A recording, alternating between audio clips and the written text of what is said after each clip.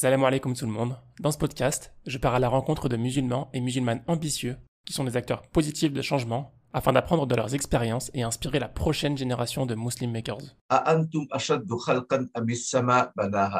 Où Allah nous dit aux lames, qu'est-ce qui est plus difficile de créer toi ou les cieux? Et lorsque je regardais le ciel, je réalise que je suis absolument, absolument rien du tout. Et si je suis absolument rien du tout qui est le créateur des cieux et ce que je vois dans l'univers Et ça m'a poussé d'investir mon temps à apprendre la religion. Dans cet épisode, j'ai le plaisir d'accueillir Shir Faisal Ahmed Manjou. Basé en Angleterre, Shir Faisal détient plus de 10 licences universitaires. Il est docteur en finance islamique et intervient régulièrement dans plusieurs universités du monde. Il est aussi avocat et expert en sharia et il conseille les entreprises en finance islamique et en droit islamique. Shir Faisal nous parle de son incroyable parcours, de ses motivations et comment il met à profit ses compétences pour aider la Ummah. On est toujours étudiant et il faut mourir comme étudiant parce que celui qui part dans le chemin d'Allah, il y a beaucoup, beaucoup, beaucoup de bénédictions divines chez cette personne. Les gens ne réalisent pas. Si ce n'est pas déjà fait, je t'invite à rejoindre les groupes Instagram et Telegram Muslim Makers. Les liens sont en description. Bonne écoute. Salam alaikum wa rahmatullahi wa barakatuh.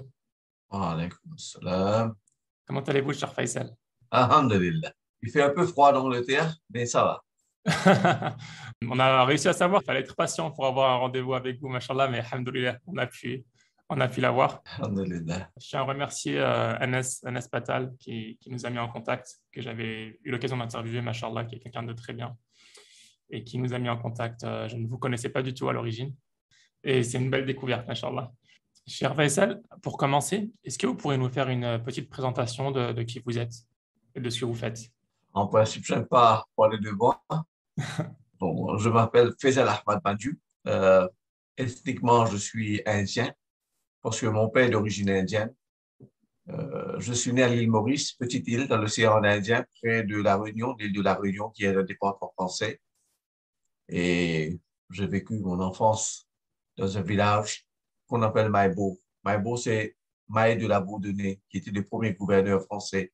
L'île Maurice était une colonie française, et puis c'est devenu une colonie anglaise, et puis on a eu l'indépendance en 1968. Bon, j'ai fait mes études, et j'étais toujours dans le business, parce que euh, c'est connu, les Gujaratis sont des business. Alors, j'étais dans le business pour 15 ans, j'ai fait mes études en administration des entreprises.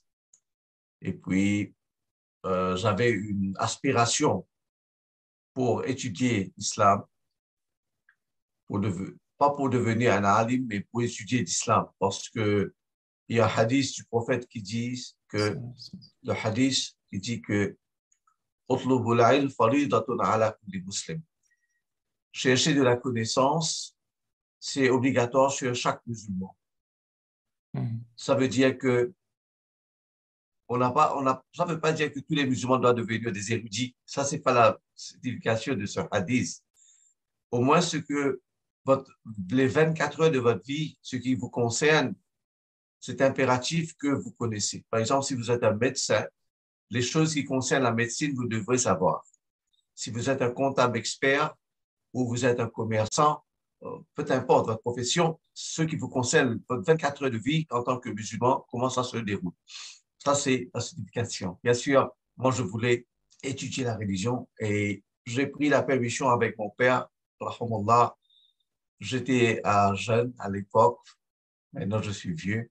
Et il y a deux versets qui m'ont influencé pour changer ma vie, d'être un connaissant, d'un commerçant et de devenir euh, un étudiant de la religion.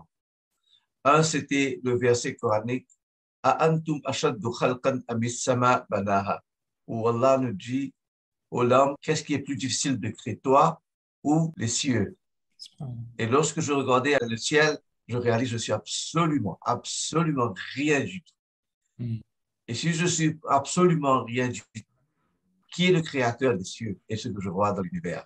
Et ça m'a poussé d'investir mon temps à apprendre la religion. La deuxième chose qui m'a changé un peu, c'est le livre de Imam al-Ghazali, c'est un petit livret où il a donné conseil à un de ses élèves. Et là, il a dit que si tu as tel âge de 40 ans et que tes péchés sont plus que tes bonnes actions, là, c'est un peu difficile pour toi de le rattraper. Parce que dans la vieillesse, qu'est-ce que tu vas faire? C'est un peu difficile. Alors, j'avais 28 ans. J'ai commencé à réfléchir et à l'âge de 32 ans, je me suis lancé dans l'étude islamique. Je suis allé en Afrique du Sud.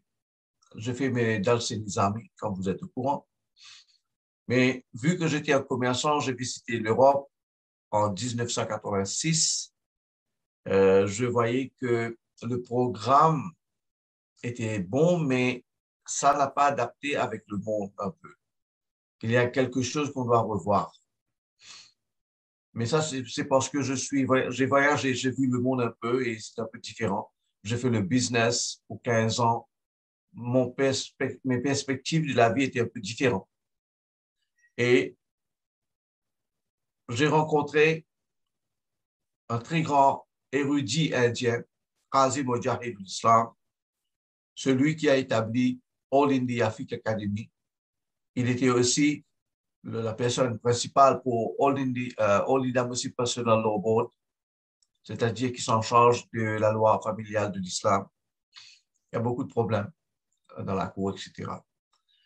Alors, lorsqu'il a vu que j'étais un peu perturbé, il m'a dit de passer un jour, une journée avec lui. Je me souviens très bien. Euh, il est venu me prendre. je suis allé à Pretoria parce que j'ai fait mes études en Afrique du Sud. Madrasa Arabia Islamia, très connu. Et le jour, un jour, j'ai passé avec lui, il a identifié mes problèmes. Il m'a mis sous la protection de professeur Abdurrahman Doy après mes études à Daloudo. Il voulait que je étudie avec un très grand érudit, un usuli, un expert en usul al de l'Inde. C'était Mufti Khalid Saifullah Rahman Tamabarakatuh, qui lui a substitué en ce moment-ci pour le All India Academy. Et de là, il avait des problèmes parce que il a vu quitter l'Afrique du Sud pour aller en Inde, je t'ai marié, etc. Il m'a dit, OK, continue tes études en Afrique du Sud. Et là, j'ai fait ma licence en... Ce que Krasissa m'a demandé, c'est de faire mes études en droit aussi. Hmm. C'était une vision incroyable. C'était une vision incroyable. Je n'avais pas je n'avais jamais, jamais songé dans ma vie que je devais devenir un avocat. Jamais dans la vie. Ce n'était pas dans ma, vision, jamais.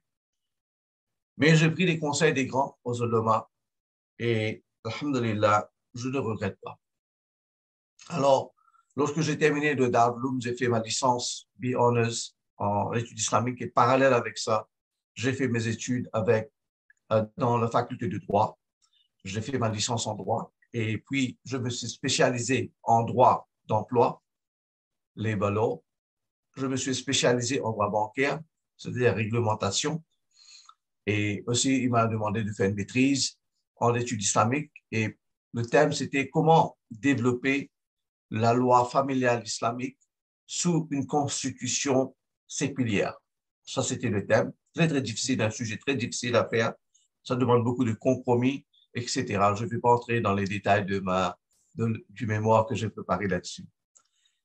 Et j'ai commencé à pratiquer la loi. Je me suis admis en 2003. Et puis j'ai un coup de fil avec un de mes copains d'Angleterre à Norcara. Et il m'a dit que, cher, pourquoi tu ne viens pas faire ta maîtrise en finance islamique et tu peux être admis à l'université de Loughborough, qui est une université très, très connue en Angleterre. C'est parmi les dix meilleures universités, Loughborough University. Et voilà, j'ai pris le courage de venir étudier en Angleterre et j'ai fait mes études, j'ai fait ma maîtrise en Angleterre. En, retournant, j'ai fait trois mois en Égypte pour améliorer ma langue arabe. Et puis de là, je me suis rendu en Afrique du Sud, mais l'université m'a appelé. Alors, j'ai pratiqué ma loi un peu, la loi, et chaque année, je venais. Et puis en 2008, l'université m'a demandé de shifter, euh, de venir en Angleterre. Alors, je devrais prendre une décision j'ai fait demander des conseils aux grands ulémas et une personne que je dois euh, remercier parce que je crois que c'était une bonne décision, c'était Shabir, euh, Molana Shabir Saloudji, qui était le, le recteur de Darul Zakaria. Il m'a dit, Molana, fait le hijra. C'est le mot qu'il a étudié. Je me souviens très bien, on était dans la mosquée de, de Mefer à Johannesburg. Il m'a dit que Molana fait le, fait le hijra, portez. C'est une vision extraordinaire. Je, ne savais pas que les, vous savez le hadith du prophète euh, prenez garde de, de, de firasa. Firasa en arabe veut dire, euh, en anglais on dit ça deep-sightedness. Allah a donné une vision dans le cœur des, des, des pieux, des personnes pieuses. Et je peux voir la, la vision de, a, le cher qui m'a donné cette vision, cette, cette, ce conseil, parce que c'était pas un, un, conseil facile de, de fermer. J'avais mon cabinet, j'avais ma famille, et de quitter tout et de recommencer la vie à l'âge de 48 ans. C'était mmh. une décision très difficile à faire, d'accord? Et j'ai dit, OK, euh, j'ai demandé d'autres Oloma aussi et, d'autres personnes, et ils m'ont dit, bon, tu peux venir. Alors, je suis venu ici, j'ai continué mes études, quoique j'enseignais à l'université, et voilà, j'ai fait une autre maîtrise en, en éducation. Pourquoi est-ce qu'il vous a dit de faire une hijra en Angleterre? Pourquoi il a dit le mot hijra et pourquoi l'Angleterre? Euh, euh, Je ne sais pas qu'est-ce qui était dans son cœur, mais je crois personnellement, euh, vu la situation en Sud-Afrique peut-être, je ne sais pas, peut-être il voyait ce que la même chose qui s'est passée avec Qasim et l'islam. Lorsqu'il m'a dit de faire une licence en droit, je ne savais pas qu'est-ce qu'il voulait que je fasse. Maintenant, je mm. peux voir ma contribution dans le domaine légal, que je vais vous parler, mm. qu'est-ce que je fais en Angleterre. Et ouais. maintenant, dans l'Angleterre, une, une des raisons peut-être, c'est que le, si vous travaillez dans l'Angleterre, c'est très connu dans le monde. Ça voilà, rayonne. Oui, ça rayonne à travers le monde. Et maintenant, je vous expliquerai de l'Angleterre qu'est-ce que j'ai fait. Encore une fois, euh, Allah a mis dans, ma, dans mon cœur que je fais une maîtrise en éducation. Pourquoi? Lorsque j'ai fait mes études, lorsque je vois la pédagogie, par exemple, voyez la communauté musulmane, on n'arrive pas à produire des, des génies intellectuels. Il y en a des gens qui sont intelligents, mais combien de gens parmi nous ont le, le prix Nobel? Qu'est-ce qu'on contribue dans le monde? C'est quelque chose qui me gêne. C'est pas le prix Nobel. Ça, c'est un prix. Mais le prix Nobel nous donne une éducation de notre contribution, que ce soit en physique, en chimie, en biologie, en droit. Qu'est-ce qu'on est en train de contribuer? Mm. Je vous donne un exemple. On a dans l'académie ce qu'on appelle le ranking of universities. Parmi les 100 premières universités mondiales, on n'arrive pas à produire une université dans un pays musulman. On a 57 pays musulmans dans le monde on n'arrive pas à produire une université. Où est le problème? Où est le problème? On doit questionner nous-mêmes. C'est vraiment décourageant au point de vue académique. Est-ce que vous comprenez la situation? On a une population qui est 25% de la population mondiale et ce sera 30% d'ici 10 ans. On n'arrive pas à produire une université au niveau international parmi les 100 premiers. Alors, c'est ça qui m'a poussé de voir où est le problème. Alors là, j'ai fait une maîtrise. Et puis, bien sûr, vu qu'on a une, une, population vieillissante, je devais choisir euh, le thème de ma thèse doctorale. Et finalement, j'ai opté pour euh, la, la pension de retraite. On a ce qu'on appelle le risque de longévité en mathématiques. Alors, j'ai fait ma thèse doctorale sur ce sujet. J'ai développé le concept. Alors ça, c'était mon parcours euh, éducationnel. Maintenant, qu'est-ce que je fais avec ces études? Ça, c'est la question. Bon, la chose que vous pouvez comprendre, jusqu'à présent, je suis encore toujours un étudiant. J'ai environ 10 licences euh, en droit, en charia, en droit, charia, spécialisation, arbitrage. Je suis en train de continuer de mes études. Pourquoi j'étudie? Je vous ai mentionné le hadith du prophète, sallallahu alayhi wa sallam que chercher la connaissance, c'est obligatoire. Et pour moi, chaque étape dans ma vie, je vois l'obligation d'étudier. Chaque étape de ma vie, je vois que voilà, ce sujet-là, on doit étudier. Ce sujet-là, on doit étudier. Et on reste toujours un étudiant. C'est pourquoi dans Surah Yusuf, Allah subhanahu wa ta'ala nous dit, en-dessus d'une personne qui a la connaissance, il y a une autre personne qui a la connaissance. Ça veut dire on est toujours étudiant. On est toujours étudiant et il faut mourir comme étudiant parce que celui qui part dans le chemin d'Allah, il y a beaucoup, beaucoup, beaucoup de bénédictions divines chez cette personne. Les gens ne réalisent pas. D'accord? Ça, c'était mon parcours éducationnel. Maintenant, qu'est-ce que je fais avec ces études? Alhamdulillah, vu que Allah m'a béni, en ce moment-ci, je suis en Europe. Et de l'Angleterre, Alhamdulillah, j'ai commencé à aider les instituts français. Mhm. J'ai enseigné à l'Université de Strasbourg, j'ai enseigné à l'Université de Paris-Dauphine, je suis, je suis enseigné à l'Université de Financial Business School à Paris, et il y en a d'autres qui arrivent. Mhm. De la France, Alhamdulillah, ça m'a donné une ouverture sur les pays francophones. Et d'Angleterre, j'ai l'ouverture des pays anglophones. D'accord? Alors, de la France, ça m'a donné l'opportunité à travers un frère qui s'appelle Merbeau, Kader Merbeau, qui est en charge du développement. Il est très connu. Euh, docteur, euh, M. Anas Patel lui connaît très bien. J'ai pu interviewer, oui. Oui. Et puis, oui. Et puis, il y a aussi le professeur Anouar Hassoun, que je dois mentionner, qui mhm. est très inspirant.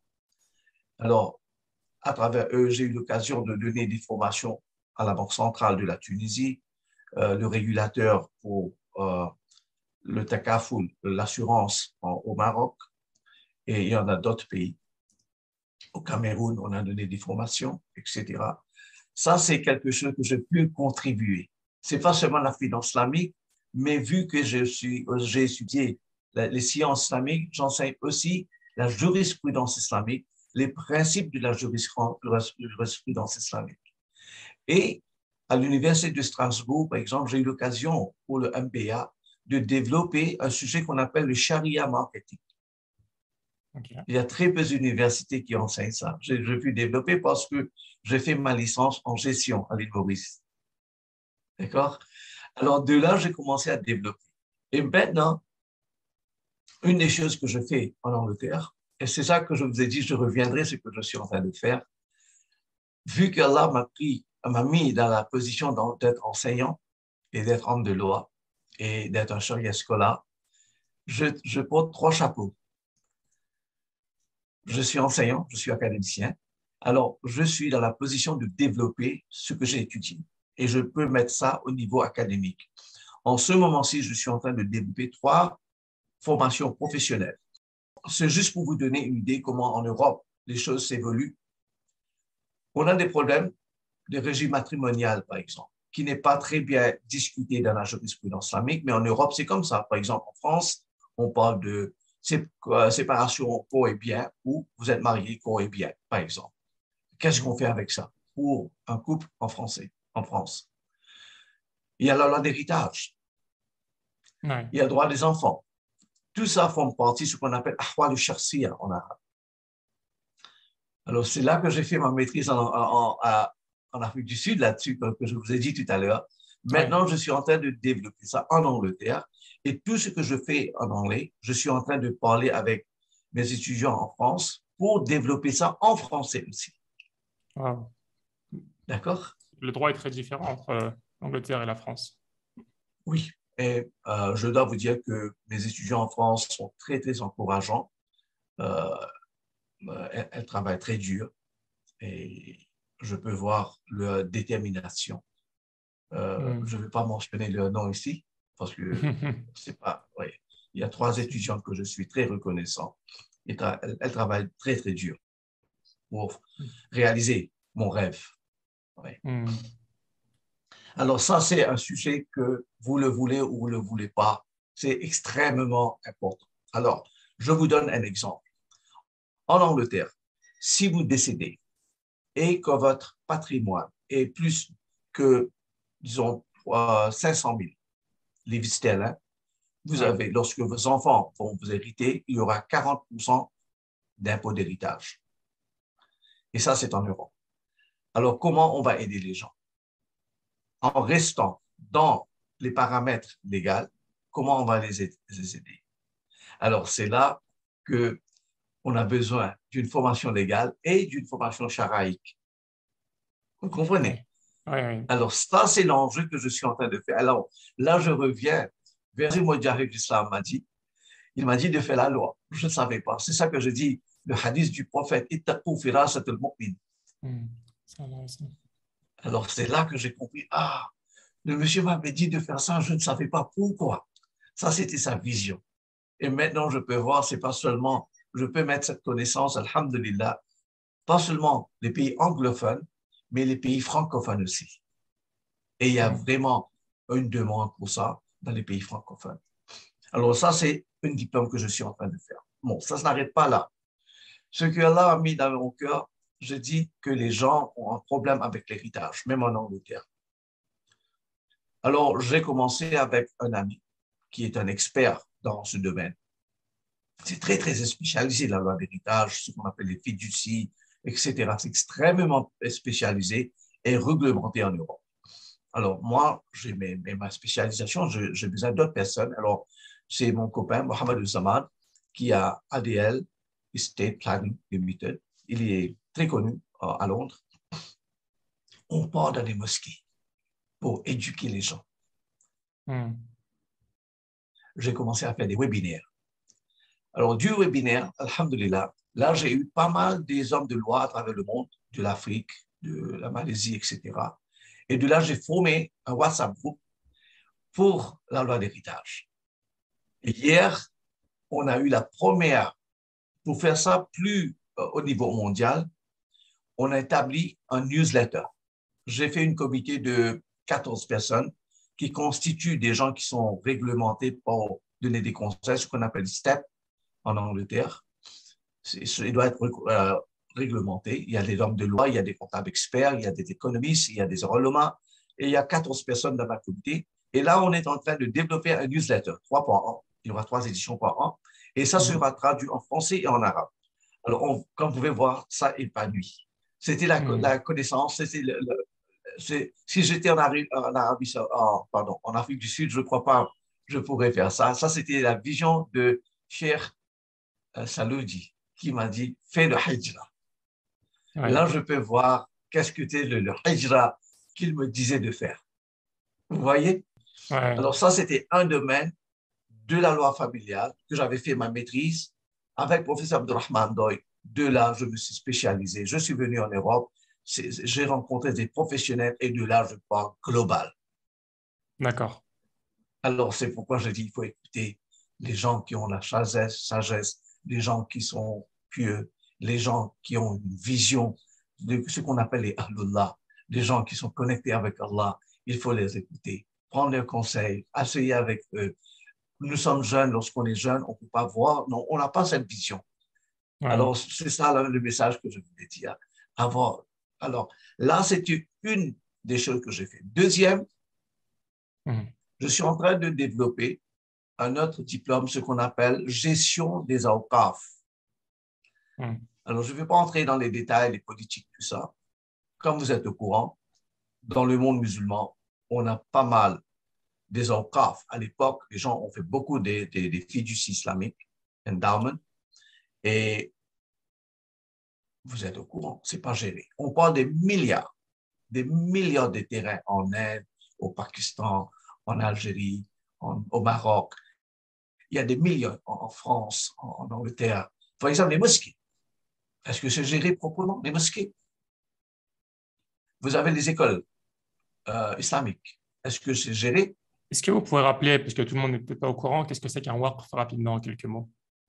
C'est comme une fiducie. Par exemple, je, dis que euh, c'est comme ce qu'on appelle le sadaqatul jariya. C'est-à-dire, lorsque vous décédez, votre livre de bonne action ne ferme pas. Allah continue à travers votre sadaqatul jariya.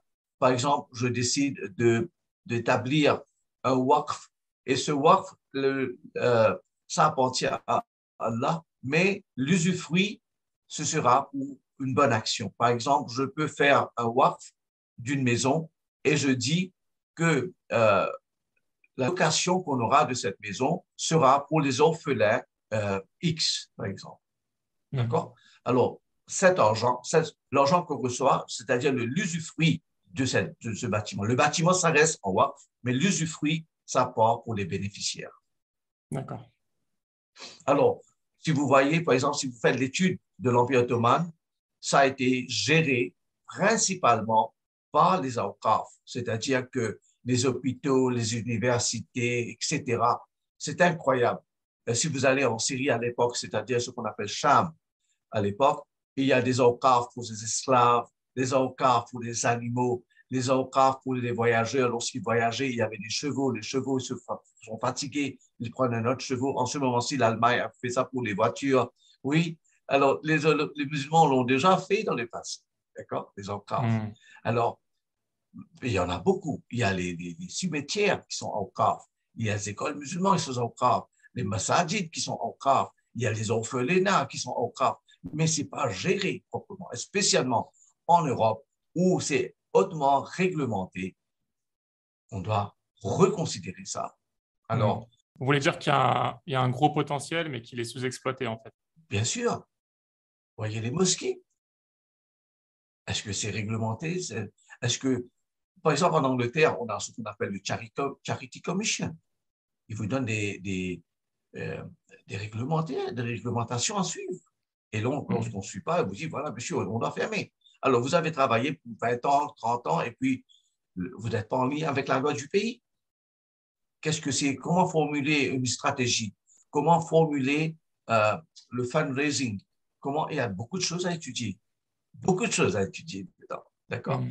J'ai développé environ huit modules après avoir fait un sondage sur le marché. D'accord? Oui, j'ai fait des sondages. Oui. où, est le, le vacuum? Qu'est-ce qui, qu'est-ce qui est nécessaire pour eux? Voilà, il y a deux choses. Un, c'est la loi. Qu'est-ce que la loi veut des présidents ou du conseil administratif de ces OCAF Ça, c'est un aspect. Et deuxième aspect, qu'est-ce que l'islam nous demande? Et troisième aspect, vivant dans le monde contemporain, euh, quelle sera la vision pour les 50 ans ou 100 ans qu'on va vivre et où on veut apporter les changements? D'accord? Alors, il faut avoir cette vision. Encore une fois, comme vous pouvez voir, c'est une combinaison de la loi et de la charia, les visions des grandes personnes. Et troisième, ce que je suis en train de faire, comme vous êtes au courant, en Europe, il y a beaucoup des investissements à faire. Le monde a changé. C'est un monde financier, l'économie financière qu'on vit. C'est pas une économie réelle comme c'était à l'époque du prophète. Et par exemple, en Angleterre, 70% euh, des gens employés sont dans le domaine de ce qu'on appelle l'industrie du service. D'accord? Alors, on doit prendre considération à ça. Et les gens veulent investir dans, dans la bourse, dans les secours, etc. Encore une fois, ça demande qu'on donne des formations, ce qu'on appelle le wealth management. Alors, je suis en train de réfléchir. Ça va prendre du temps parce que je dois faire en anglais et en français aussi. D'accord? Hmm. Alors, les pays anglophones et les pays francophones. Alors, il y a beaucoup de choses à faire. Alors, ça, c'était mon parcours. Alors, ce que je fais en ce moment, j'enseigne environ trois ou quatre universités. Euh, je suis consultant. Non, non, non. Euh, certains sont Islamic Finance, certains sont sur euh, sciences islamiques, certains sont séculières, des, sujets séculiers. Par exemple, à l'université de Cardiff Metropolitan University à Pays au Pays d'Égal, là, j'enseigne History of Economic Thought l'évolution de, de, de, la pensée économique, environ, je parle de, à l'époque de Plato, Aristote, euh, avant l'évolution industrielle, l'évolution industrielle, Adam Smith, euh, et on continue, qu'est-ce qui s'est passé, les, les physiocrates les, en France, les, les euh, caméralismes en, Allemagne, il y avait le mercantilisme en, mhm. en Angleterre, et comment ça a porté vers, par exemple, la colonisation, et après la colonisation, qu'est-ce qui s'est passé? Et puis, on a eu la Grande Dépression en 1920-1930 et comment ça a changé? Et c'est là Keynes est venu sur le marché avec l'idée de, euh, il faut shifter de l'économie, euh, comment on dit ça en français, euh, the free market economy, euh, vers le gouvernement doit intervenir et apporter des, ce qu'on appelle monetary policies. Et puis, il y a Lionel Robbins qui s'est venu. Et puis, comment, en 1970, là, où on a commencé à parler de l'économie Islamic Economics. C'est un nouvel sujet, un nouveau sujet hmm. qu'on est en train de d'évoluer. On n'a pas suffisamment de recherche là-dessus parce qu'encore une fois, euh, dans l'islam, lorsque vous étudiez l'économie islamique, à l'époque, les livres écrits par Ibn Abu Yusuf, Abu Zaid, etc., ce sont des livres sur l'économie, mais avec euh, le prisme du, de la jurisprudence. Mais ça a changé. Ça a changé. Il y a beaucoup de mathématiques de nos jours, ce qu'on appelle l'économétrique. D'accord? Alors, ça, c'est un nouveau sujet qu'on doit parler. Alors, il faut réfléchir. Alors, où, où on doit positionner euh, Islamic Economics, ce qu'on appelle heterodox, heterodox Economics. Alors, ça, c'est juste pour vous donner une idée. Alors, il y a tout ça à faire.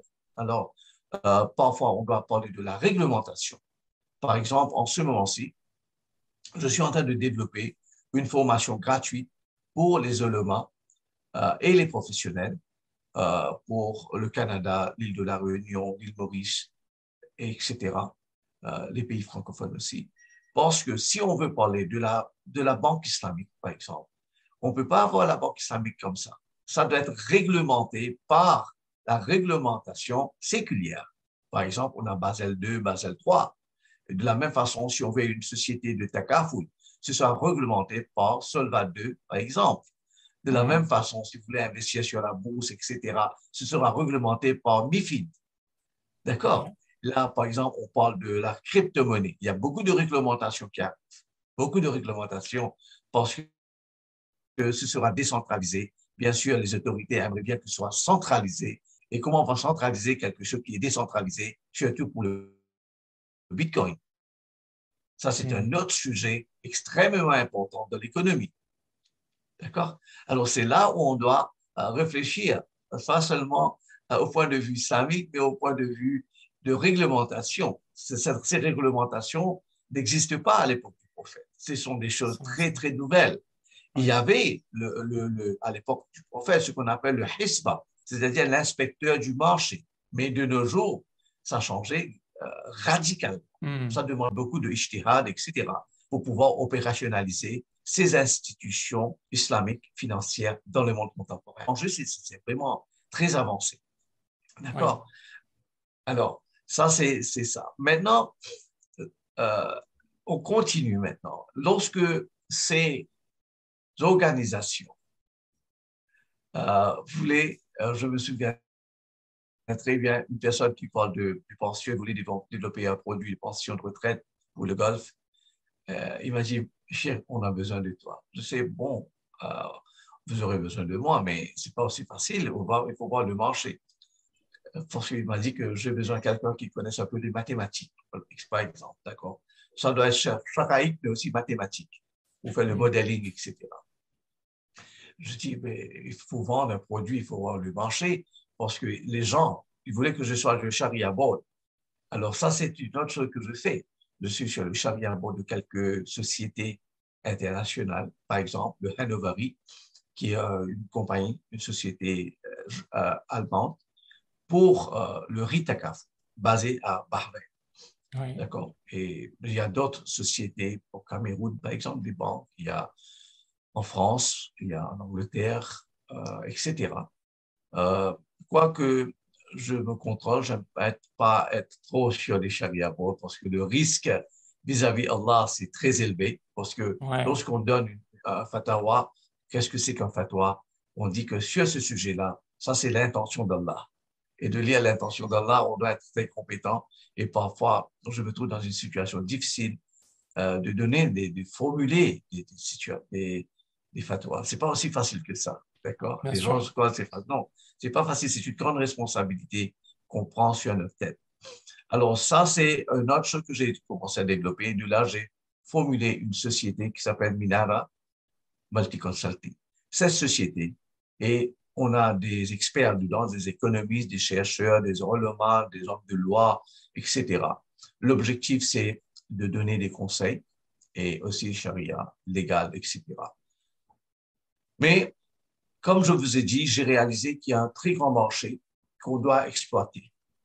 il y a des professionnels comme vous, comme Anas, qui veulent absolument, et n'ont pas le temps, mais ils veulent savoir des domaines très spécialisés. Par exemple, quelqu'un est un comptable. Il est spécialisé dans l'État CAF. Il aimerait bien savoir la position de la comptabilité islamique chez l'État CAF. C'est très spécialisé. Alors ça, c'est mmh. développé par l'AOFI. Je suis sur la comité du TACAFOOT pour l'AOFI. On vient de changer la loi pour le IFRS 17 concernant la, euh, la, comptabilité pour les sociétés d'assurance. Alors, on, va émettre ça très prochainement. Et là, le comptable doit savoir ça. C'est le seul institut. Et puis, il y a aussi en Malaisie, le Malaysian Accounting Standard Board, où il émet, émet le, les normes euh, aussi pour la comptabilité des institutions islamiques. Alors, ça, c'est c'est un sujet que j'ai réalisé. Les professionnels n'ont pas de temps. C'est là que j'ai incorporé une société, Minara Academy. On n'a pas mis ça sur demande. Oui. Alors là, j'ai environ 60 formations que je suis en train de développer. Faire un doigt spécial pour moi. 500 formations 60, oui. Ah, 60, 60 formations, machallah. Oui, ça, c'est pour commencer. D'ici dans trois ans, il y aura. D'ici cette année, je souhaite pouvoir enregistrer 30, de 20, disons 20. 20. Alors, par exemple, si on parle de l'héritage, un sujet. Alors là, vous aurez une formation de 12 heures, comment rédiger un testament islamique, mais aussi prendre en considération la loi du pays. Par exemple, en Angleterre, on a le concept de freedom of testation. En France, c'est différent. Alors, c'est là où mes élèves viendront, vont essayer de trouver la solution pour la version française. Alors, ça, c'est un sujet. Maintenant, il faut faire ce qu'on appelle estate planning. Comment on va euh, planifier notre patrimoine, gestion patrimoine. Et de là, on a ce qu'on appelle aussi euh, estate tax planning, gestion d'impôts patrimoine.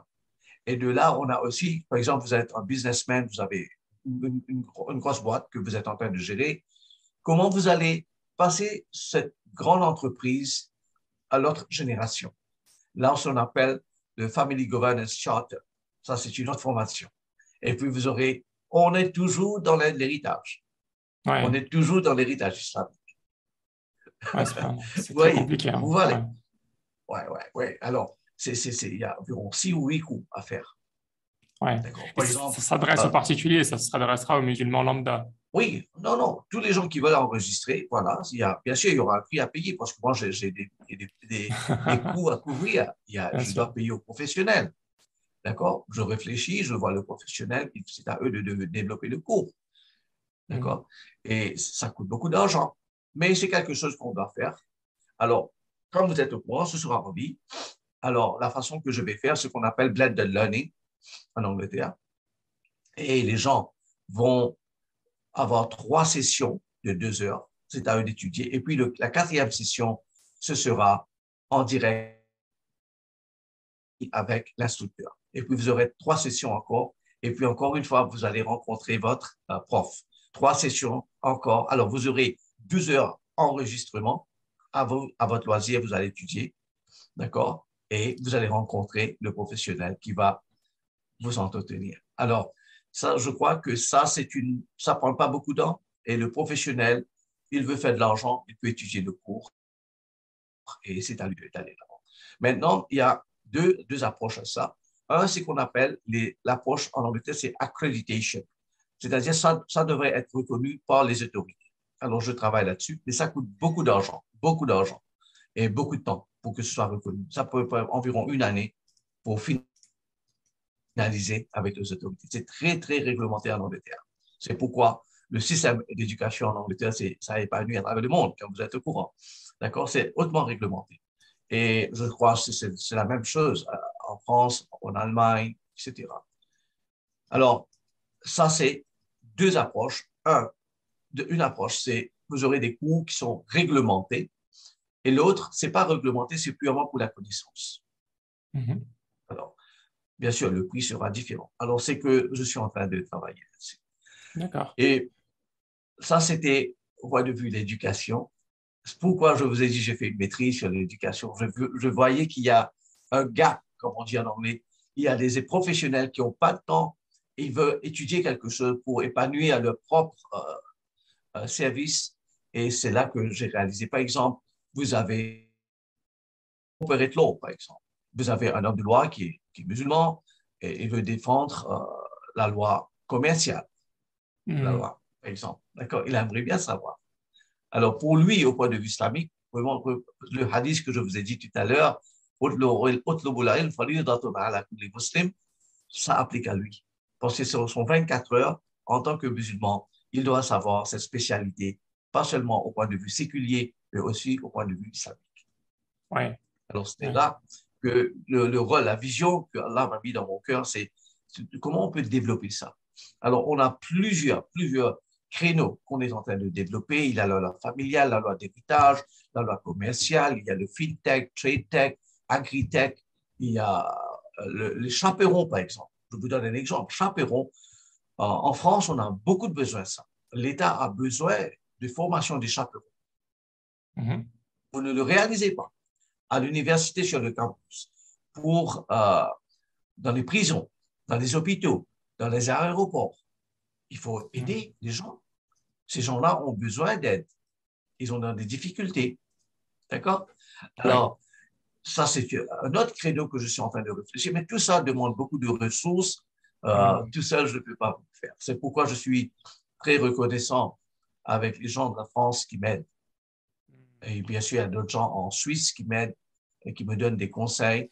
Il y a Luxembourg qui est, qui est francophone, il y a Belgique qui est francophone, la Suisse qui est francophone.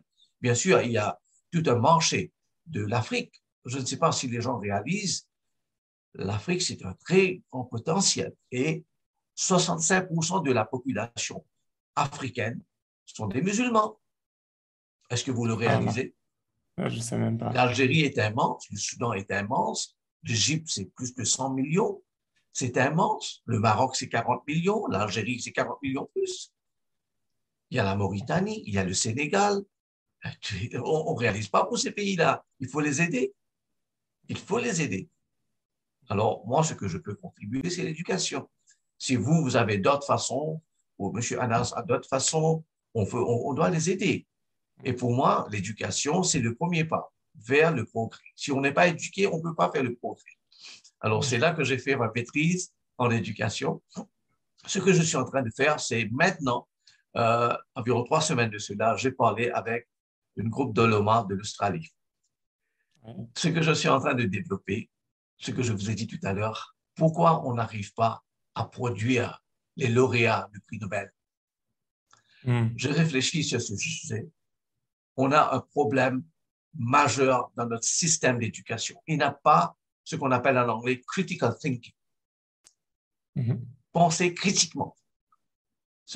la façon qu'on enseigne, la plupart des institutions islamiques, on enseigne ce qu'on appelle le subject centered, c'est-à-dire on doit terminer le livre, on doit enseigner le sujet, et ce qu'on appelle euh, le, le, banking theory de Ferreira du Brésil, c'est-à-dire la connaissance est avec le prof, il transmet la connaissance et c'est tout. Mais en Europe, c'est pas comme ça. Il faut procéder, il faut, you got to process the knowledge. Il faut avoir une critique, ce qu'on appelle le Bloom's taxonomy. Et on n'arrive pas à arriver à l'apogée ou de développer des connaissances originales. On n'arrive pas à le faire. C'est pourquoi combien de livres vous voyez dans le monde musulman qui est un best-seller? On n'arrive pas à écrire des livres. Combien de musulmans qui ont... Euh, il, y en a des musulmans qui sont très intelligents. Je ne dis pas non. Je veux dire, en tant que communauté, on n'arrive pas à produire quelque chose. Individuellement, il y en a.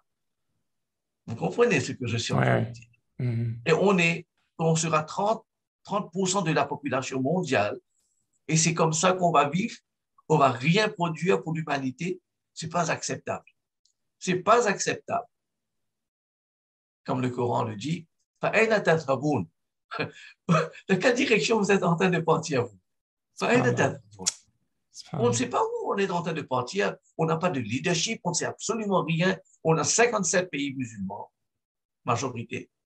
Et on n'arrive pas à produire des universités, on n'arrive pas à produire des lauréats prix Nobel. Qu'est-ce qu'on est en train de faire? On est 30% de la population mondiale. Enfin, 25% pour le moment. Mais ce n'est pas, pas acceptable. Et c'est là qu'on doit voir où est le problème. Et j'ai réalisé un des problèmes majeurs. On ne développe pas, on n'en sait pas avec une approche critique, ce qu'on appelle les learner-centered approach. on doit finir le livre, alors on finit le livre. Et c'est là où on a des problèmes. Parce que lorsqu'on étudie la jurisprudence islamique, la plupart de ces livres ont été écrits environ 7 ans, 7 siècles de cela. Mais on a écrit ce livre dans un contexte historique, dans un contexte politique qui est différent de nos jours. Oui. Et certains sujets, on doit reconsidérer. On doit reconsidérer ces sujets. Il n'y avait pas un système bancaire à l'époque. Il n'avait pas un système digital, monétaire digital à l'époque. Il n'avait pas le problème de fiqh à l'époque. Il y a beaucoup de choses à reconsidérer. Alors, qu'est-ce qu'on fait? Si on n'a pas un système de critique Et c'est là, lorsque j'ai lorsque j'ai parlé avec euh, les Allemands d'Australie, ils ont vu que je me suis rendu au Dubaï aussi, au Canada aussi, je lui ai dit qu'il faut reconsidérer la pédagogie islamique. Et comment on va s'en servir ça pour bénéficier l'humanité. Pas seulement les musulmans, l'humanité. Hmm. L'humanité doit bénéficier. D'accord? Alors, j'ai revu le système islamique, le Coran, et j'ai vu qu'il y a pas mal, il y a environ 34 versets coraniques qui nous enseignent la pédagogie. Alors, je vais donner un exemple. La création d'Adam, salatu les gens ne réalisent pas. La première institution éducationnelle, j'ai dit aux gens, ils ne réalisent pas. C'était où? Est-ce que vous pouvez me donner une réponse? La première institution éducationnelle, c'était quoi? Première institution éducationnelle, je... Beaucoup de gens me disent Al-Azhar, Zaytuna, etc. Non. La première institution éducationnelle, c'était Jannah, le paradis. Allah dit dans le Coran, Allah a enseigné les noms à Adam, tous les noms. Il lui a transmis la connaissance. Hmm. Les gens ne le réalisent pas. Et cette méthodologie, parce que les anges étaient là-bas, Iblis était là-bas, ce qu'on appelle en anglais dialogical pedagogy, c'est-à-dire on enseigne à travers des dialogues. Alors, comment on va contextualiser ça de nos jours? dans une classe. Euh, c'est très avancé, c'est très bien avancé, bien sûr, on parle de la pédagogie ici. Alors ça, c'est un sujet. Au lieu d'adopter le système de euh, vous parler, les, élèves vous écoutent, on, lit le livre, non, ça, c'est pas la façon. Il faut avoir des dialogues. Et c'est pourquoi le prophète a dit, paix soit sur lui, la clé pour la connaissance, c'est de demander des questions. Donner des opportunités aux élèves de vous demander des questions avoir des dialogues avec les, élèves. C'est pourquoi vous allez voir lorsque le prophète enseigne aux Sahaba, il demandait des questions. Et les Sahaba vont dire, Allah et son prophète savent mieux. Et le prophète va donner. Il va demander des questions. Si vous allez voir ça dans les hadiths, Cheikh Abu Fatah a écrit un livre, La pédagogie du prophète Mohammed. Et ça sur lui. Il a pris 30 ans pour écrire ce livre et c'est environ 120 pages juste pour vous donner une idée, l'importance de ce livre. Bien sûr, ce n'est pas le premier livre qui a écrit. Il y a beaucoup de gens à l'époque de Imam Malik, par exemple. Il y avait un contemporain de Imam Malik qui a écrit le livre euh, euh, L'éthique d'enseignement pour les enseignants, les, celui qui enseigne. D'accord? À l'époque de Imam Malik, c'est jusqu'à présent de ce livre. Maintenant, je vous donne un autre exemple qui est vraiment chagrinant. Lorsque Moussa alayhi salatu salam, les gens lui demandaient qui connaissent plus? Il pensait que, voilà, bah, je reçois la révélation, alors peut-être c'est moi, la personne qui hmm. connaissant.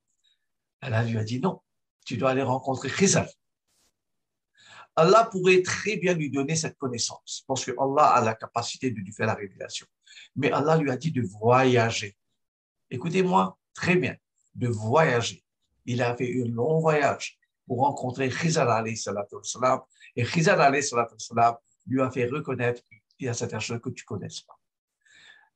Je ne vais pas rentrer dans la pédagogie entre Khizar alayhi et Moussa alayhi. Je vais me concentrer sur le mot voyage.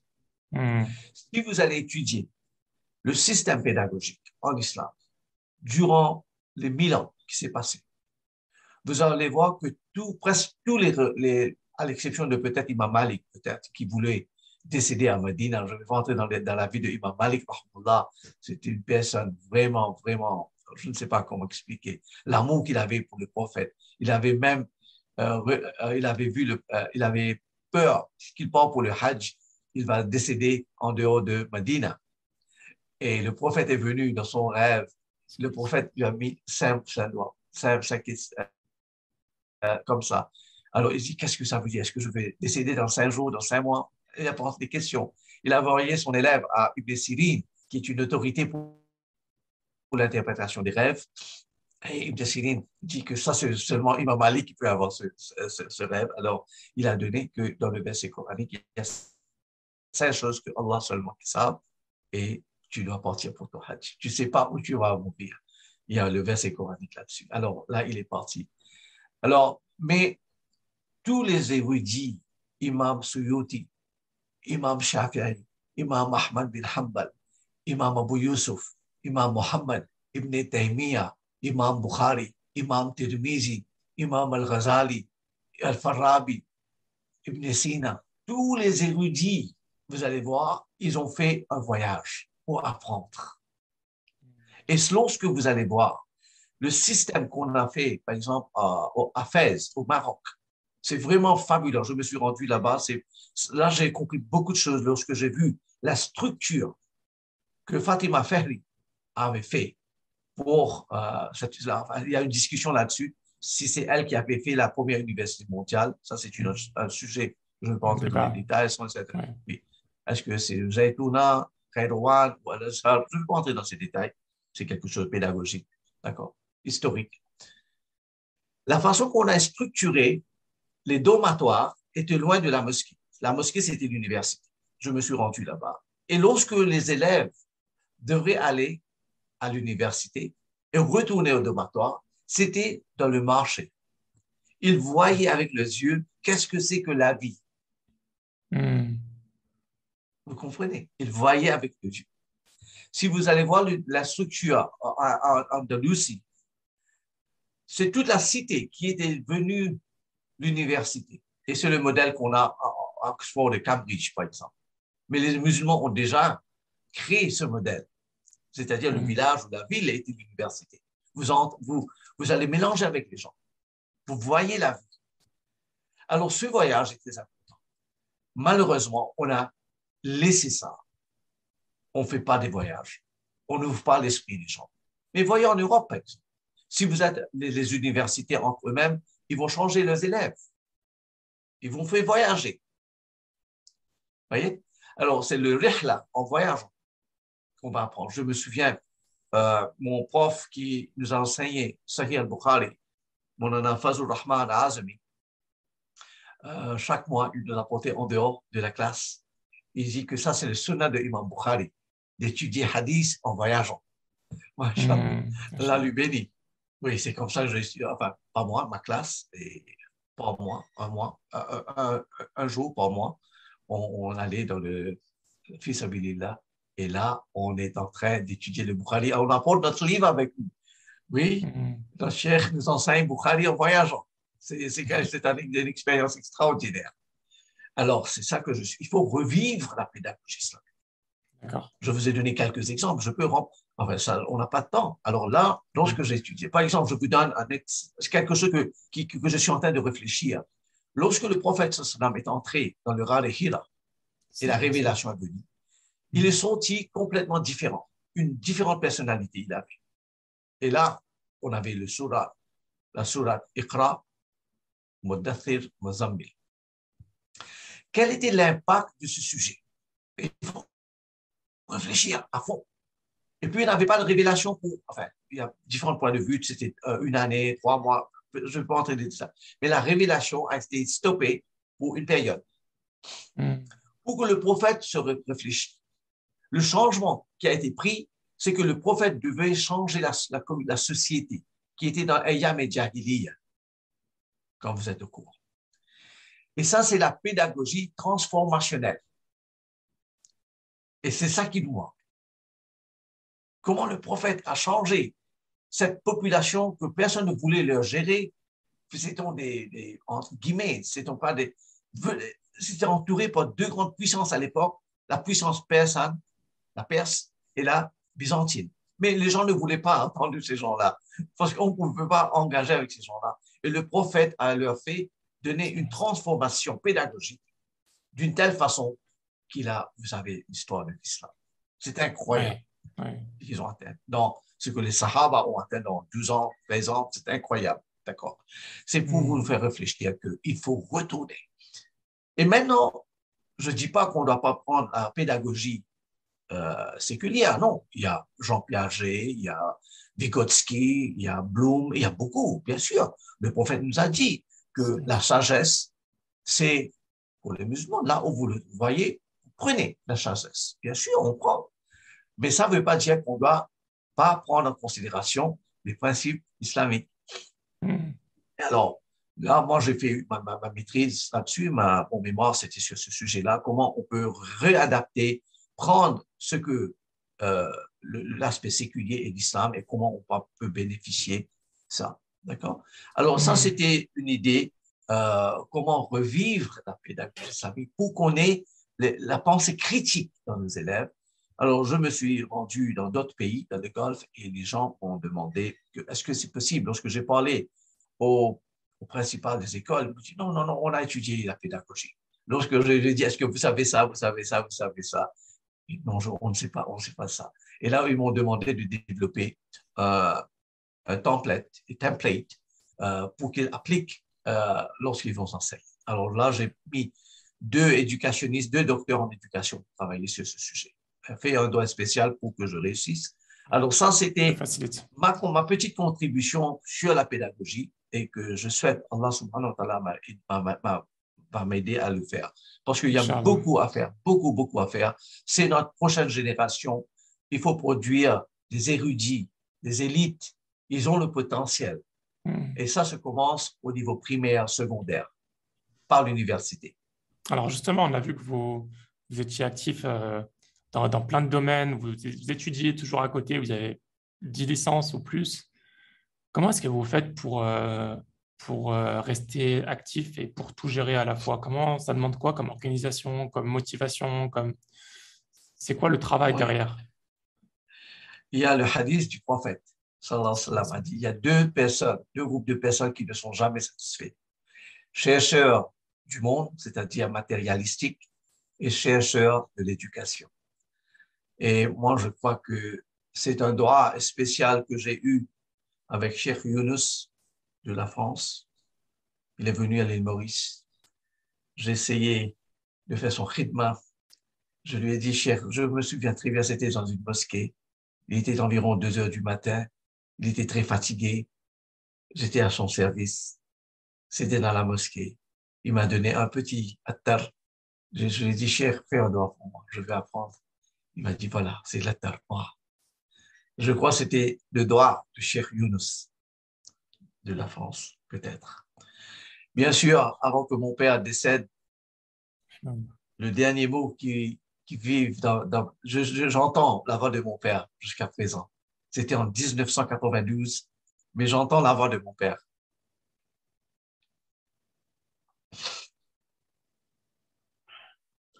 il me disait, j'ai pas, j'ai pas, excusez-moi.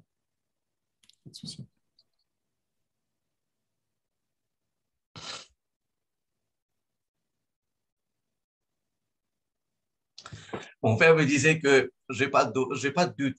Ce que tu as, les bonnes intentions, tu vois, les bonnes intentions que tu as, tu vas réussir. Et je crois que c'est le doigt de mon père qui est sur moi. Moi, je suis rien, je suis je suis rien, absolument rien. Je viens d'une petite île de l'île Maurice, d'un village dans l'océan Indien. Tout ce que je fais, c'est son doigt des grandes personnes. Moi, je crois dedans que si on réussit dans la vie, c'est la bénédiction de nos parents, de nos profs, des gens qui prient pour nous. Je crois que ça qui, nous fait réussir dans la vie.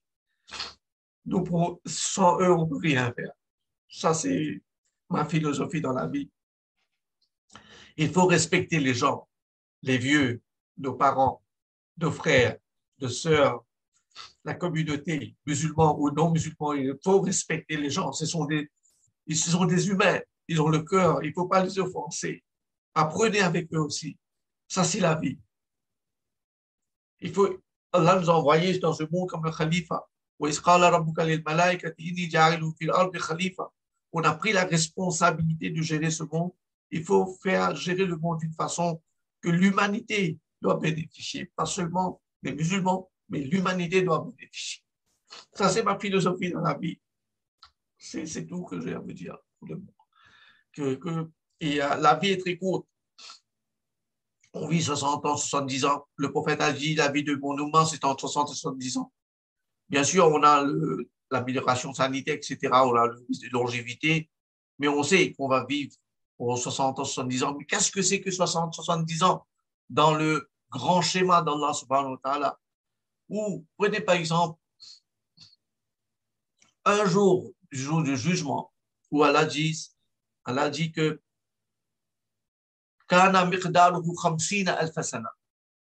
un jour, le jour du jugement, ce sera 50 000 ans. Un jour du Qiyamah, ce sera 50 000 ans. Le jour du jugement. Qu'est-ce que c'est que 60 ans? Qu'est-ce que c'est que 60 ans? C'est absolument rien du tout. Et c'est là qu'on doit réfléchir. Ce qui me pousse dans la vie, c'est, c'est, je crois, personnellement, je vous dis franchement, en toute franchise, je suis rien, absolument rien du tout. Je crois que ce sont les, les prières que mes professeurs ont fait pour moi, mes parents ont fait pour moi, les, les enfants, les, ça, c'est ça qui me pousse, à mon avis. Moi, je suis rien du tout. Je suis personne normale, quoi. Ça, c'est ma vie. Alors, le conseil que je donne aux gens, c'est d'être éduqué. D'être éduqué. Il y a un hadith qu'il faut réfléchir là-dessus. Deux rakats nafil d'un érudit, ça vaut mieux que mille rakats de non érudit. Ça, il y a un autre hadith qui dit que, euh, euh, comment le, hadith qui nous dit que le Satan ne peut pas contrôler un érudit. Mafoum hadith, euh, la version arabe ne vient pas dans la tête, euh, que le shaitan, nous avons deux ennemis. Les gens ne réalisent pas. Nous avons deux ennemis. Ils cherchent les ennemis en dehors de soi-même. C'est notre nafs qui est notre ennemi, numéro un. Comme vous êtes au courant, le Coran nous dit qu'il y a trois types de nafs. Nafs c'est amara, nafs c'est lawama, nafs c'est mutma'inna. Mhm. Et c'est notre nafs de Amara qui nous donne des mauvais conseils. Oui, je ne vais pas entrer dans le soufisme ici, mais c'est très avancé. Et puis, il y a le shaitan, que le Coran dit que c'est un ennemi déclaré pour vous.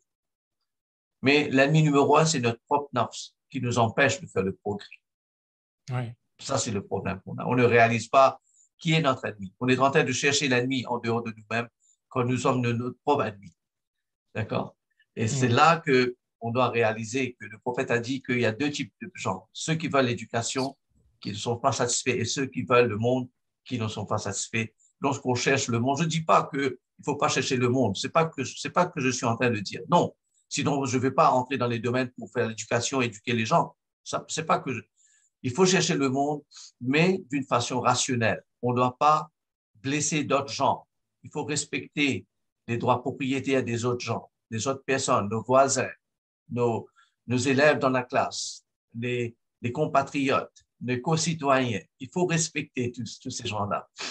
Mais si mm-hmm. on a cette, cette greed, comme on dit, cette, euh, euh, le c'est Amara qui nous pousse à avoir ce qu'on veut et peu importe le moyen, ça c'est pas la façon que l'islam nous enseigne. C'est pourquoi le Coran nous dit Ya euh, euh, ô vous les croyants, euh, la takulu amwalakum bainakum bil batil. Hmm. D'une façon qui n'est pas approuvée par l'islam. Et le verset termine bit taradi. Il doit avoir le, le consentement. S'il n'y a pas de consentement, ce sera problématique. Vous comprenez? Alors, ce que je suis en train de dire, c'est qu'il y a des, des codes éthiques à suivre en islam si on arrive à, nous éduquer, comment se comporter dans le marché, et on, va pouvoir rayonner l'islam dans le monde en tant que musulmans. Les Sahaba, lorsqu'ils conquérirent, euh, lorsqu'il y avait la conquête des autres pays, vous êtes au courant de la façon qu'ils l'ont géré, c'est incroyable. Hmm. C'est incroyable. Comment les gens sont venus en islam en flux, en flux. Mais vous allez, hmm. ils sont, si vous allez dans, des pays tels comme l'Indonésie, etc., Java, etc., vous allez voir, tout ça, c'était le comportement des Sahaba. Les Sahaba sont allés au Soudan, ils, sont, ils, ont, ils ont marié des gens, des gens là-bas, ils sont partis pour l'Égypte, etc. Et vous avez l'histoire de l'islam, par exemple, euh, Tariq celui qui a fait la conquête de l'Andalousie. Il n'était pas arabe, il était berbère. Bien sûr, puis, puis, puis, qu'est-ce que c'est la définition d'un arabe, c'est un autre sujet, je ne vais pas entrer dans, dans ce sujet-là, mais euh, ce que je veux dire, c'est que ces gens-là ont embrassé l'islam et ils ont fait du progrès. Alors, le point que j'aimerais bien faire savoir, c'est que l'éducation est très importante. Euh, parce qu'il ne faut pas seulement apprendre, mais il faut aussi enseigner. Le prophète sallam a dit Allah m'a envoyé comme un, un, enseignant.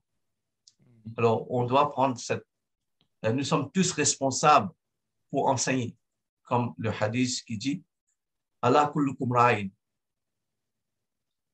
Vous êtes tous des, des bergers, et chaque berger sera responsable de son troupeau. Alors, en tant que père, en tant que mère, en tant que euh, PDG euh, d'une boîte, euh, en tant que Premier ministre, en tant que président, en tant que roi, peu importe votre position, vous avez la responsabilité des gens qui sont sous vous. Et ça, le message de l'islam. Et si vous n'êtes pas éduqué vous-même, ce sera problématique. Et le hadith est très clair là-dessus. Sayyid al-Qawm khadimuhum. Celui qui est en charge, il est le serviteur de ce peuple, de celui qui sont sous lui. Il faut comprendre l'islam dans sa totalité. D'accord? Alors, ça, c'est le message que j'aimerais bien euh, partager. C'est mon parcours. C'est un parcours éducationnel. Et à travers l'éducation, Allah vous donne beaucoup, beaucoup d'honneur. Croyez-moi. Allah vous donne beaucoup d'honneur, beaucoup de baraka dans votre argent, beaucoup de baraka dans votre temps. Vous me demandez comment je fais tout ça. Croyez-moi, c'est le baraka. Je ne sais pas où le baraka arrive, hmm. mais c'est la part d'Allah. pour cette année seulement, pour cette année seulement, j'ai environ, quand vous faites avec moi, j'ai environ 30 comme ça. 30 hmm. webinaires, workshops.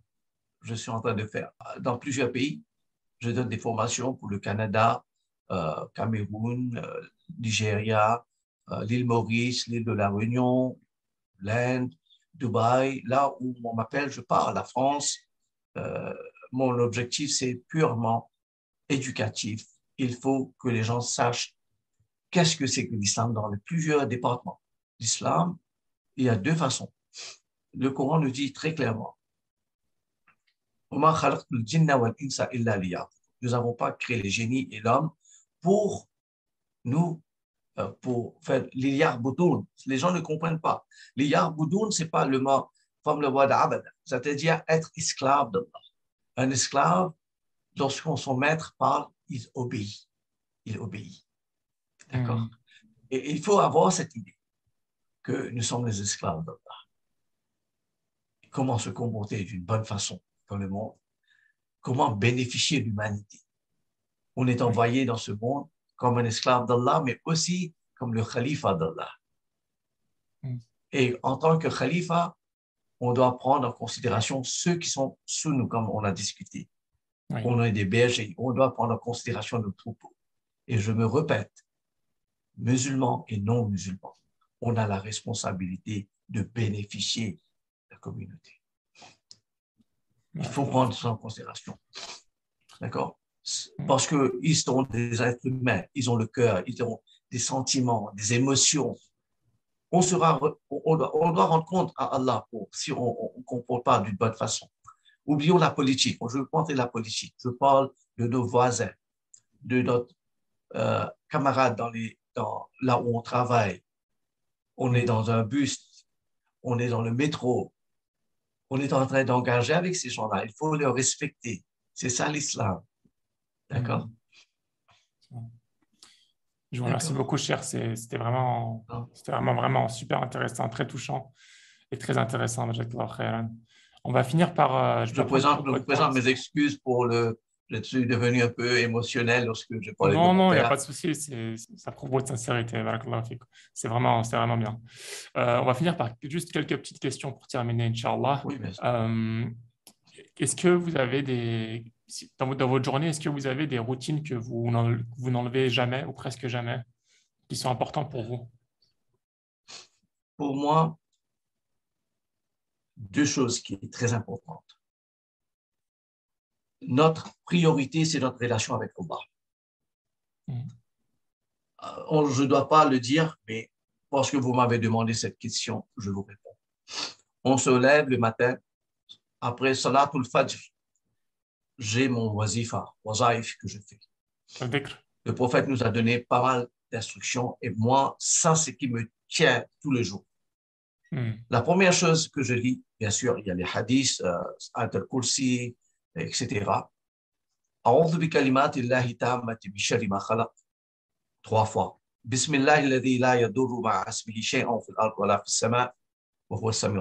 Trois fois. Parce que le hadith authentique nous dit, celui qui dit ses doigts, vous et ce que vous possédez entre dans la protection d'Allah. Alors, avant de quitter la maison, j'aimerais bien que ma maison est très occupée, très protégée, mes enfants, ma femme et ce que j'ai sont dans la protection d'Allah. La première chose. Hmm. C'est impératif qu'on prépare pour la mort. Je dois lire Surat Yasin presque tous les jours. Parce qu'on va, on va, on va décéder très prochainement. La vie, comme je vous dis, c'est rien du tout. 60 ans, c'est rien du tout. 70 ans, c'est rien du tout. On doit préparer pour la mort parce que le hadith nous dit que le Surah Yasin, c'est le cœur du Coran. Deuxièmement, ce sera une protection contre le sakarat al-maut ou al-maut. Hmm. Lorsqu'on est décédé, on entend le qadr. Et là, ce qui va nous aider, c'est Surat al-Mulk, Tabarak al-Ladhi biyadihi mulk. Je lis ça tous les jours. Ça, c'est très important. Et puis, je commence ma journée de cette façon. J'ai mes mazrazaïf que je lis, etc. Demander la protection, on fait des doigts, etc. Et là, un peu le Coran je dis toujours, le Coran, c'est le mot d'Allah. C'est le mot d'Allah. Hmm. Nous sommes des créatures d'Allah. Vous parlez avec Allah avec ses propres mots. Lisez le Coran tous les jours. Tous les jours. Tous les jours. Même si c'est un verset, mais lisez le Coran tous les jours. Connectez avec Allah. Hmm. C'est à part de, bien sûr, la prière, etc. C'est là. Alors moi, pour moi, c'est ça ma force. Alors, après Salatul Fajr, je ne dois pas dire ça, mais vous m'avez demandé la question et je, je dis ça purement, purement, purement pour que les gens bénéficient. C'est mm. la seule raison pourquoi je dis ça. Il faut mettre chaque jour, on a 24 heures dans une journée, on le divise en trois parties. 6 heures. Non, pardon, 8, euh, heures. 8 mm. heures, ça c'est pour le monde. Il faut travailler il faut s'en occuper de sa famille. Il faut avoir une carrière. Il faut aller de l'avant. Il faut faire du progrès. Ça, c'est pour le monde. Huit heures, c'est pour dormir et pour votre famille. Il faut respecter notre femme, nos enfants, notre mm. mari. Il faut leur donner du, temps. Parce que si on arrive à produire des familles saines, bonne santé, qui réfléchissent bien, on n'aura pas de problème dans le monde. Et ça, le problème mm. qu'on a on passe notre temps avec, je ne sais pas si vous êtes au courant des recherches qu'on a fait. Les jeunes passent à peu près euh, six heures sur le, portable par jour. Six heures. Mais ce n'est pas, c'est pas bon du tout. Hmm. Lorsqu'on travaille, notre email, d'après les recherches que j'ai fait, par exemple, en Europe, on travaille par exemple 40 heures par semaine, 13 heures. Les gens ne travaillent pas pour leur patron, pour leur employeur. Ça, c'est pas islamique. Si on est en train de vous payer, il faut travailler. À la maison, vous pouvez voir votre email si vous voulez. Mais pas, on n'est pas payé à voir, de, de, lire votre email personnel. C'est rien. C'est rien. On ne peut mm. pas faire ça. D'accord? Alors, ça, 8 heures pour le monde, 8 heures pour, pour dormir, pour se reposer un peu, pour, euh, euh, entre les interactions de la communauté. Aller vous comprenez? Huit heures ça c'est pour vous et Allah. Ça c'est pour vous et Allah. C'est très simple à comprendre. Si nous avons cinq prières par jour, cinq prières par jour, c'est cinq heures pour le temps que vous faites le wudu. Le wudu, ça fait partie de votre relation avec Allah. Vous allez le Coran, vous allez. Euh, il faut préparer. La prière, c'est pas quelque chose qu'on part et, on up and down et on, est, on a terminé. Non, c'est pas comme ça qu'on fait la prière. C'est pourquoi on a les, les, maladies, euh, la santé mentale dans le monde en ce moment-ci. Parce qu'on n'est pas connecté spirituellement avec Allah. Excusez-moi. Excusez-moi. Pas de souci. J'ai d'autres rendez-vous. Maintenant, on a déjà une invitation. Ah, bon, alors c'est ça la façon qu'on doit organiser notre temps. On est prisonnier de notre temps. On n'a on a que 24 heures dans, dans un jour. Et le prophète nous a dit, un des signes du Kayama, c'est que les années vont devenir comme des mois, des mois comme des semaines, des semaines comme des jours. Il n'y aura pas de baraka dans le temps. Hmm. Et on peut le vivre, je peux voir ça de nos jours. Je suis certain que vous aussi, vous ne savez pas comment, comment une semaine s'est passée. On peut voir qu'il n'y a pas de baraka dans le temps. Hmm, D'accord On vient de commencer 2020, 22. l'année 22, et décembre va venir. Deux mois, c'est déjà fini. Comment deux mois, c'est fini? C'est passé, on ne sait pas. Qu'est-ce qu'on a fait en deux mois, on ne sait pas. Mais si on a ce système, 8 heures, c'est pour vous et Allah. 8 heures pour, vous, pour, le monde, 8 heures pour vous et la société, votre famille. Ce sera, c'est juste une idée, bien sûr. C'est ça que chaque personne a son propre style de vie. Ce que je suis en train de dire, il faut développer un schéma. Comment vous voulez vivre? Hmm. Par exemple, je vous donne une idée. Euh, durant la pandémie, beaucoup de gens ont développé les maladies, les, la santé mentale, parce qu'ils devraient graver le confinement. Pourquoi? Pourquoi les gens sont rendus malades?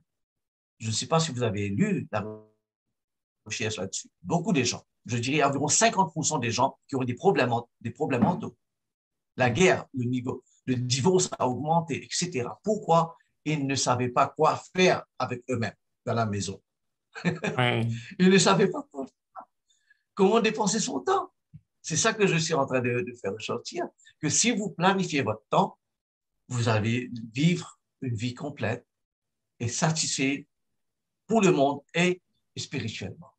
Est-ce que vous avez, vu que vous lisez beaucoup, vous lisez beaucoup, machallah, est-ce que vous avez euh, une recommandation de lecture ou quelques livres que vous recommanderiez à, à, l'audience, à notre audience, Inch'Allah Des livres qui, sont, qui seront bénéfiques pour nous? Euh, Je vais te demander une question très difficile. Parce que il y, a, beaucoup, il, y a, beaucoup de livres à lire. Il y a beaucoup de livres à lire. Je ne sais pas euh, plus précisément qu'est-ce que vous avez en tête? Quel domaine? Euh, Quels sont les livres, par exemple, pour vous qui vous ont les plus marqués récemment? Vu que je faisais des recherches sur l'économie, il y a un livre par Islahi euh, qui a mis en relief une thèse que Schumpeter avait dit qu'il y avait cinq siècles, rien n'a été écrit sur l'économie. Mhm. Euh, en Europe. Il a, il a, c'était ridicule et il a cassé cet argument. Il a dit que pendant cinq, cinq, siècles où l'Europe était dormante, vous n'avez, vous n'avez pas réalisé qu'il y avait des gens tels comme Al-Ghazali, des gens tels comme Ibn Taymiyyah, etc., qui ont écrit sur ce sujet. Comment vous pouvez hmm. être aveugle de l'histoire?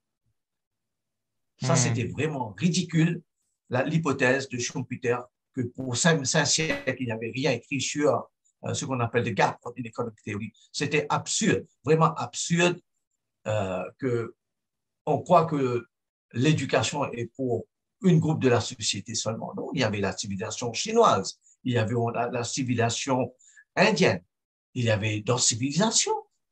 Ouais. Qu'est-ce que c'est que ça? C'est pas juste. Alors, ce livre m'a vraiment fait réfléchir.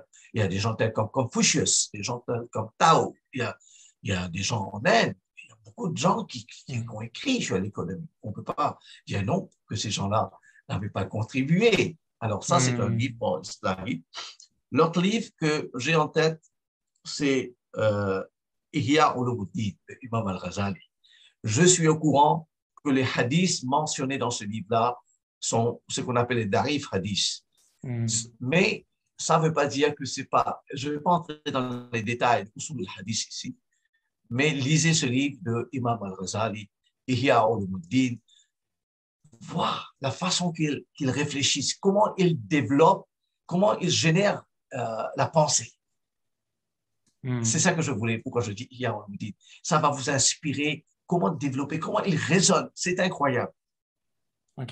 Troisième livre que peut-être euh, que je crois, que je vous conseille, que mon prof, professeur Ataoula Siddiqui, qui vient de décéder l'année dernière, Allah illumine son, son.